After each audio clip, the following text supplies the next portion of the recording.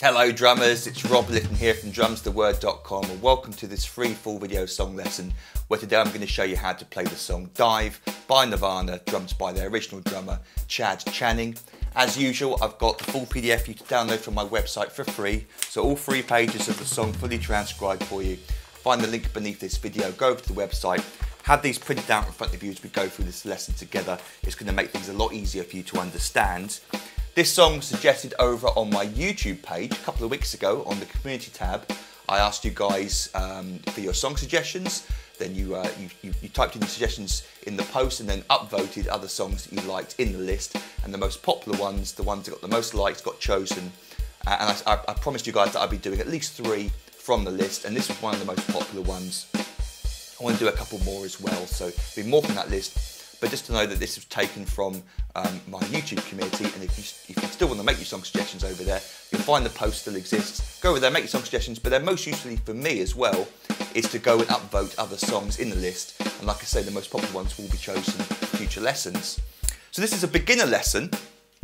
There's no reason why a new drummer couldn't sort of pick up six and have a go at this straight away. There's nothing really complicated going on apart from right at the beginning. And I will simplify some of the other drum fills as well as we go through this. Um, but there's this super, super fast drum fill right at the beginning of the song. Before we go into that though, there's um, uh, four bars of intro with the bass guitar. And I've seen other drummers online, and perhaps there was an original recording because this song was a B-side from a single.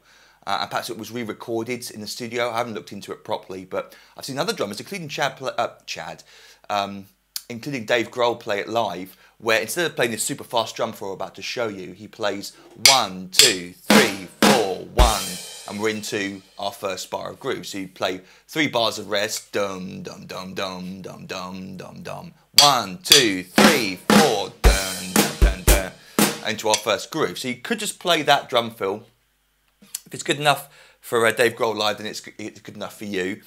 I'm just simply playing a flam on the snare drum. A flam is just two sticks coming down, slightly separated. So we get a blap, blap, blap. They're not at the same time, they're slightly separated. If you find flams a little bit difficult, you could replicate that sound by playing the floor tom and snare drum together to give that sort of meaty feel, or just a snare drum on its own will work absolutely fine. It won't, won't sound the same, of course, though.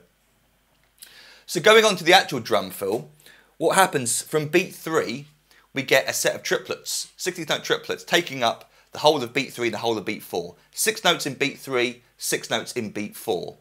One and two and three to the ante to four to the ante to da da bubba da bubba da bubba da bubba da ba ba bubba da bubba da bubba da bubba da ba ba so at this sort of faster tempo, this sort of blur, and you can't really count them. So you have to sort of feel them. This is definitely not for beginners, this drum fill. Like I said, this three, four would be the one that you, you'd play. But on the recording, we get this drum fill. Now, what I think he's playing is two on the snare drum, four on the high tom, and then it sounds like the next tom is lower, so two on the snare drum, and then four on the lowest tom. All as one flow of notes.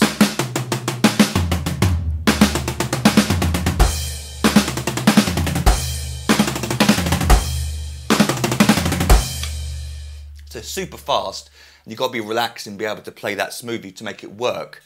Um, so that's what we're hearing on the recording. But just, just for fun, I thought I'd also mention, because when I first heard it, trying to transcribe it, I thought maybe it's playing that, what I'm, what I'm about to show you, these Bonham triplets, which, which Dave Grohl's a master at playing.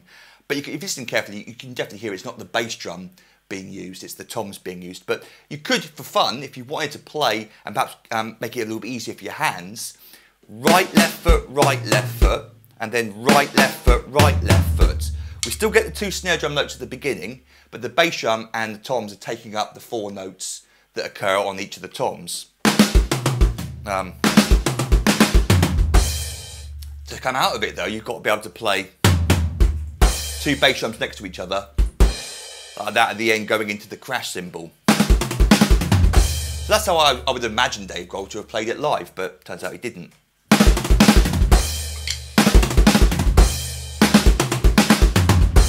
So if you're more comfortable with that lick, you could use that instead, but it's what we hear on the recording, and for the um, complete beginners, that will work just fine. So then we go on to our first uh, groove, which is still the intro technically, and we're playing quarter notes on the hi-hat, the closed hi-hat. It's a two bar phrase. Without the crash cymbal on beat one, we're playing one and two and three and four and one and two, three, four and one. So we've got some bass drums falling in between the hi-hats on their own there. Snare drum on beats two and four. Play it again for you. One and two and three. And then from beat four, it's perhaps the tricky bit for, for a new drummer, is to skip over the bass drum on beat one of the second bar. Four and one and. Four and one and two, three and four and. And it resolves back to the beginning of the two bar phrase again.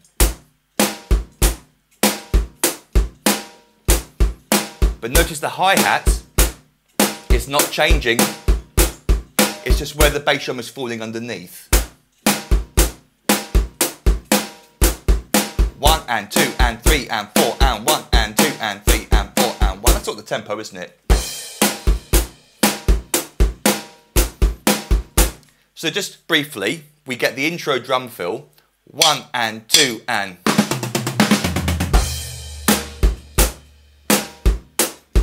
and of course up to speed. And I'll play it properly in a moment without the microphone on. One, two.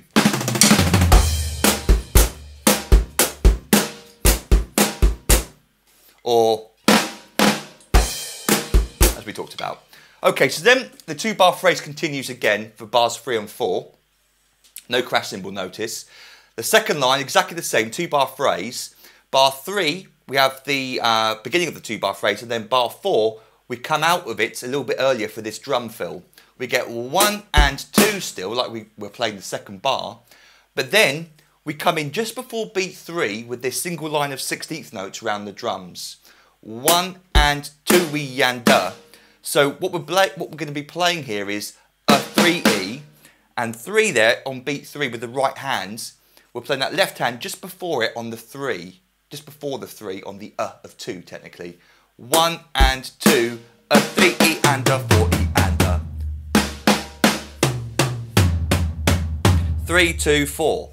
Now, if you find coming in just before beat three and it's interfering with, with your groove and it's messing out for you, you could leave out that skip note on the uh of two and just start the drum fill on beat three. So you could play instead, let's play bars three and four together. One and two and three and four and one and two and three and a four and a one.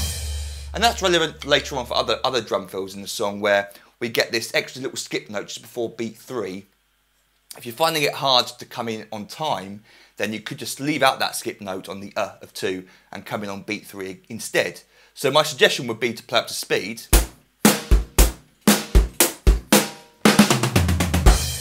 Leave it round one, two, and three, four, and one, and two, and three, and a four, and a one. But on the recording, he plays this. Two, and three, four, and one, and two, a three, and a four, and a one. Two, and three, and four, and one, and two, a three, and a four, and a one. So then we go on to the verse, verse one, and we're up to the ride cymbal. We get a crash on beat one. It's the same um, bass drum, snare drum pattern as the verses, except we're playing all the eighth notes this time. Instead of quarter notes, we're playing one and two and three on the ride cymbal. So perhaps a little bit easier for you if you're not used to leaving gaps with the, with the right hand. He plays one and two and three and four and one and two, three and four. So you can hear it's exactly the same bass drum pattern, just we're playing all the notes now on the ride cymbal. If you wanted to do that for the verses, by the way, If you really find those quarter notes difficult, then you could play that instead if you wanted to. Won't sound the same, of course, but if you're really finding that independence there with the right hand difficult, play all the eighth notes for the hi-hat. But on the ride cymbal, that, that's what he's doing. He also skips over the ride cymbal on the and of one. He goes one, two, and three, and comes in with a ride on beat two, rather than one and two. And if you wanted to come down to the ride cymbal for the and of one, you could do that, but on the recording, Chad doesn't.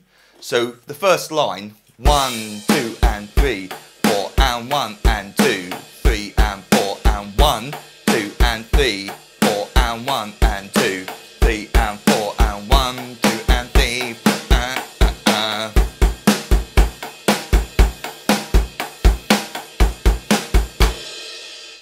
That um, two bar pattern gets played for all four bar, four lines there, but the very last bar we get this distinctive drum fill.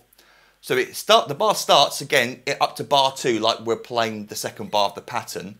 One and two, but then we get this um, this drum fill. One and two, a three and forty and left right left right left right. One and two, a three and forty and. Again, it has that skip note on the uh of two, which you might find a little bit tricky to come in with the timing. So you could just play three and four and you could play one, two and three, four and one and two, three and four and. But he's playing one, two and three, four and one and two, three and. So if you heard the song enough times, you can sort of memorise that rhythm. Dun dun dun dun dun dun da da da da da da da da da da da.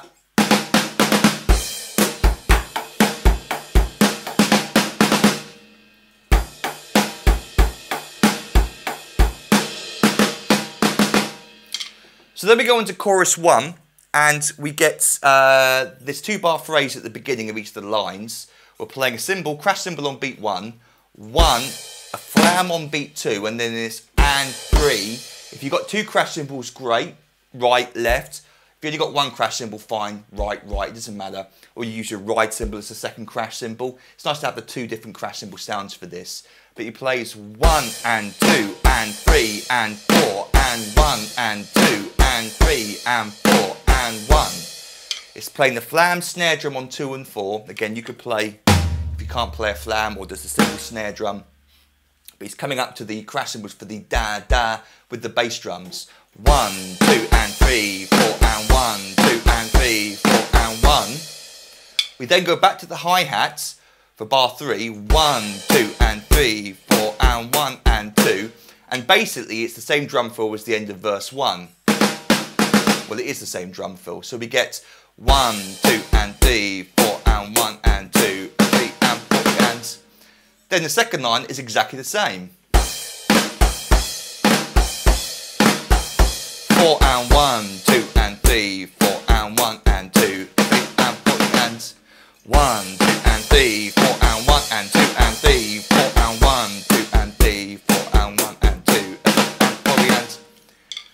we get this two bar line at the very bottom, start to say one, two, and one, two, and three, but then instead of playing um, uh, and three, four, and one, he plays and three, and a four, and a. So coming in on the and a beat three there, one, two, and three, and a four, and a. Starting on the and a three with the right hand, six snare drum notes. So we get. Might catch you off a little, uh, catch you off guard a little because we're ending that drum fill, those two bars, a little bit earlier on the and of three, and coming in with this extended drum fill just on the snare drum. So that last line again, one, two, and three, four, and one, two, and three, and the four, and the one.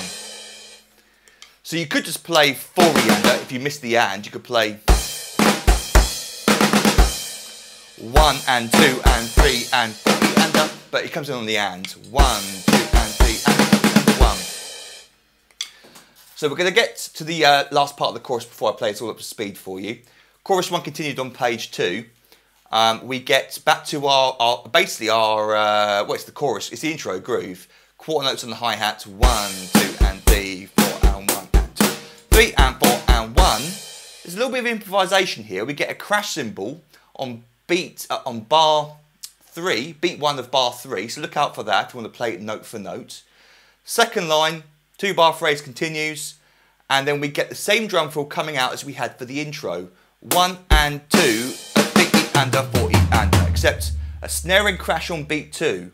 So bars three and four, one, two and three, four and one and two, a 50 and a 40 and a. It's exactly the same as playing two, but on a crash.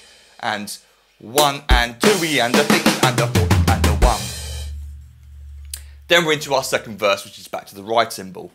So before we go on, let me now play for you all of this up to speed. I'm going to start from the intro, verse 1, chorus 1, chorus 1 continued at the top of page 2. Here, all, that sounds like in one, one piece without me yakking on over the top so you can hear just the drums. Here we go.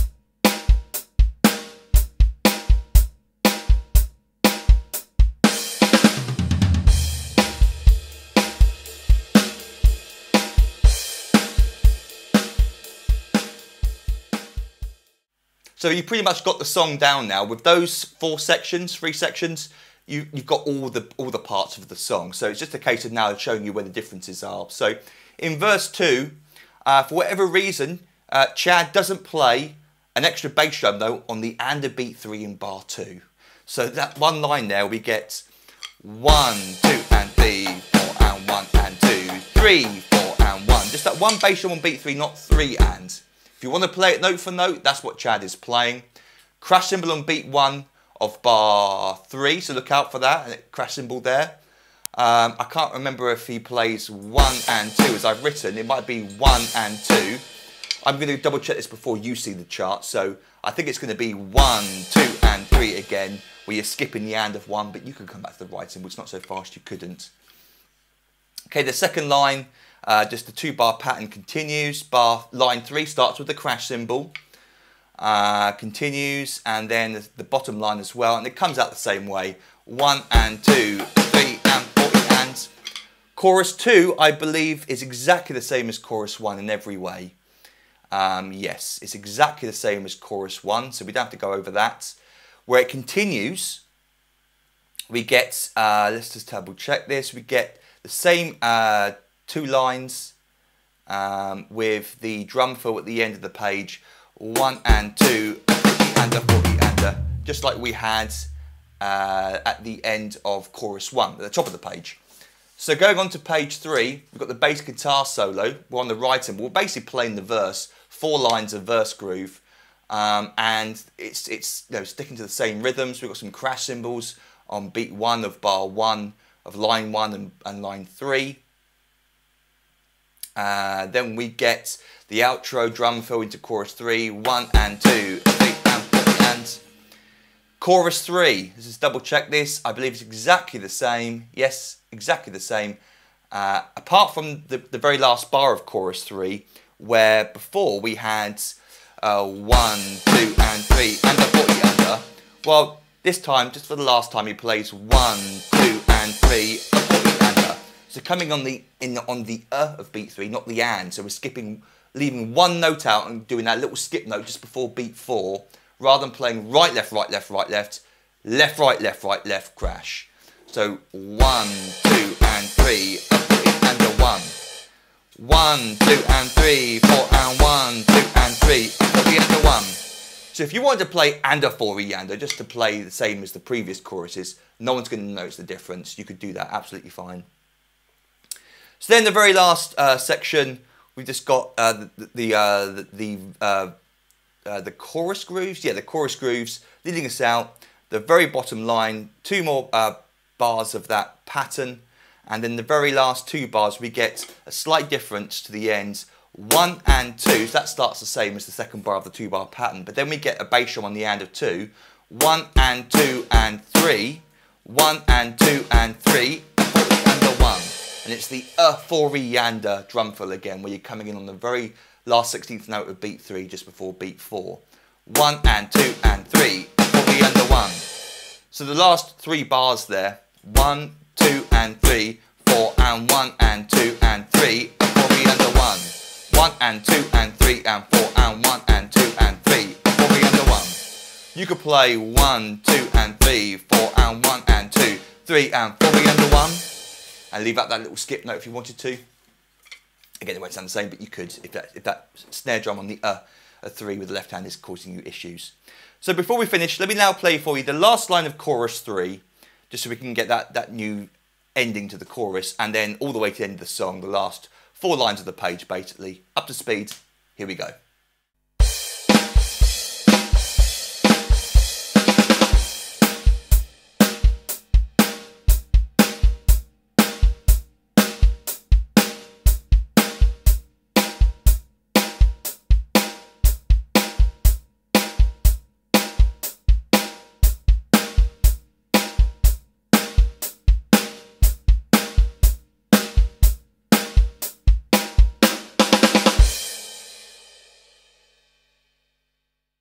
So I hope you found the lesson useful. Again, this is a, a great song for beginners, so you have to forgive me if I um, uh, spent my time uh, explaining these parts.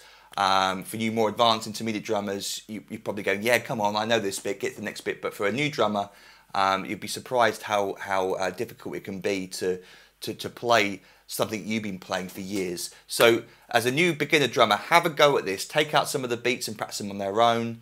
Um, and if you know the song really well and you've got some sort of uh, independence going on with your bass drum foot, you should be able to follow the, the melody anyway with the, with the bass drum. Uh, don't forget to download all three pages of the PDF from my website. Again, the link is beneath this video. If you've got any questions about it, you can email me, rob@drumstheword.com. And then while you're at my website, you might want to consider signing up to become an online member. And what I currently offer for £97 is a full year's online access to every single full video song lesson I've ever recorded and transcribed. And that's over 550 songs where just like this, I teach you the song from start to finish. You get the fully transcribed PDF drum chart. I've got over 100 beginner song lessons up on the website already. And out of those uh, uh, 550 songs, I would say I'm coming up to probably about 15 Nirvana songs, including a load of um, Foo Fighters. So if you're a fan of, uh, of Dave Grohl, there's loads of Foo Fighters stuff on up, up on the website already. So tons and tons of Nirvana and Dave Grohl stuff to get your teeth into uh, if you're a fan. As a thank you for signing up, I give you access to hundreds more videos teaching you many, many famous drum beats, fills, and even drum solos. I give you three ebooks I've written over the years containing hundreds more famous beats, fills, and solos. And then over the year of your subscription, you also gain instant online access to all the new material that I upload for my members. And I record new lessons every week, unless I'm ill or on holiday. So you've got lots of cool stuff to look forward to over the year of your subscription. But if you've got any questions about any of that, then feel free to email me, rob@drumstheword.com. And until our next drum lesson together, toodle pip and happy drumming to you.